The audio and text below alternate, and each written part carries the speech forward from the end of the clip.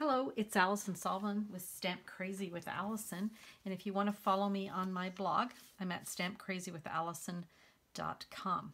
So please check out my blog. I usually blog uh, two, uh, three, sometimes four times a week. I wanted to show you a brand new product that's coming to customers, hopefully uh, in November. It's a Stampin' Up! paper trimmer. And this is a replacement for the previous trimmer um, that Stampin' Up! was no longer able to provide the blades for. The production company that made the blades stopped making them, and that meant that we couldn't continue to carry that trimmer. And while that was disappointing, I have to say I'm kind of glad because this trimmer is superior to the older trimmer. It's very lightweight, so it's easy to um, pack around, but it's not flimsy.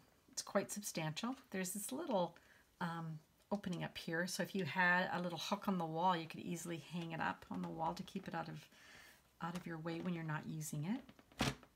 When it's closed, it is eight and a half by 15 and three quarters. So nice big platform.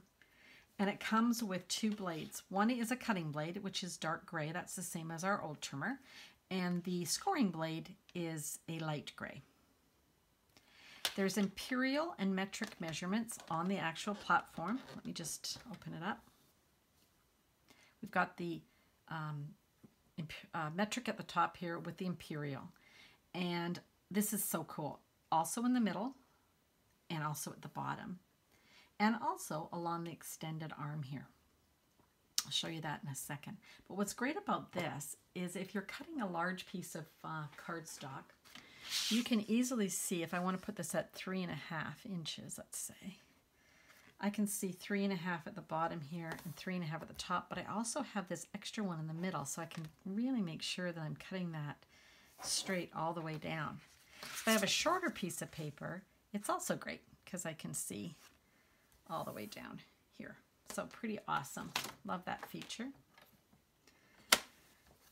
The rule and grid um, surfaces have a durable plastic cover. Now when you get your trimmer, I'm going to show you something. Just open this up. It actually has a thin plastic film that you can take off your trimmer. I'm going to leave mine on just for a little bit, um, but I will eventually remove it. But you'll see it's kind of got a little bubble here where you can grasp it and pull it off. Just like when you buy a new phone or sometimes a TV, it's got a film on the top just to protect it from scratching during uh, shipping. So just be aware that that's on there and you can remove it or leave it on. And it would be on this section, this section, and also on the extended arm here. The other thing that's cool is that um, you can measure from uh, zero all the way to six and a quarter on the actual arm. And that is super because in the old one, it kind of fell off the side. So you were kind of snookered if you wanted to cut beyond that.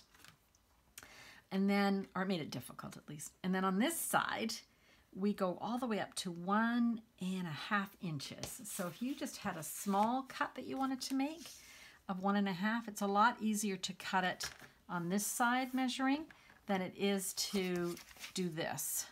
Now one and a half is not bad. You can do one and a half easily, but let's say you wanted to do uh, just a quarter cut. So I'm gonna move it here to the quarter. See that there? And I'm gonna cut it. Now, I don't know if you could, you can't really appreciate this unless you're a person, but it's so easy to cut. The blade on the new version is much, much deeper and um, just travels along the little uh, unremovable. You can't remove this um, tracking mat like you could on the old one, which is good because sometimes it would fall out and drive me nuts. So this is really cool, but what a great cut. That's a lot easier to cut using this grid than to turn this over and go a quarter inch. Now you could still do it, but you're kind of like your paper's hanging off and you're kind of holding it down. So this just makes it a lot easier when you've got the grid on the other side. And of course for really small cuts, like if I were gonna do, oh, an eighth of an inch, Look at that. Look how simple that was, right? Or if I just wanted to trim off a little titch, maybe I've got a little piece that's hanging off that's bugging me. I can cut really tiny spots too. So there you go. Look at this. Really tiny strips in it, not spots. so you can see the different, and you can even go smaller than that. So really, really great cutting. The scoring is also amazing. Let me just show you that. I'm going to score this piece. So one pass. We've got a really nice score line that just is easy to crease. So really great. Now this is our regular cardstock, so it cuts really beautifully. This is our thicker. This is 80 pound weight. Here's 110 pound weight. So let's see how this does. Excellent. No fuzzy, nothing. Awesome. I always find that some of our specialty papers are, are a little more challenging. So here's the foil. So let's put the foil in. And really cool. And the one that always causes me grief is the glimmer paper.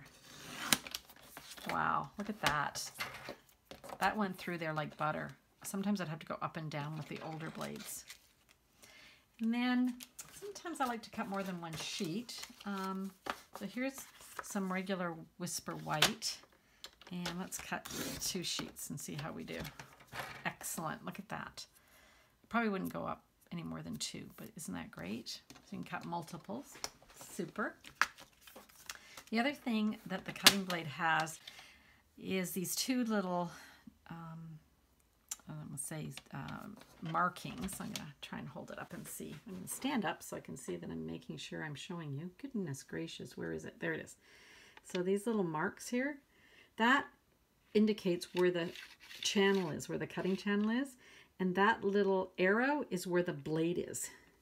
So if you were trying to do some precision cutting, so let's say you wanted to cut out a square from the middle of this or just, I don't know.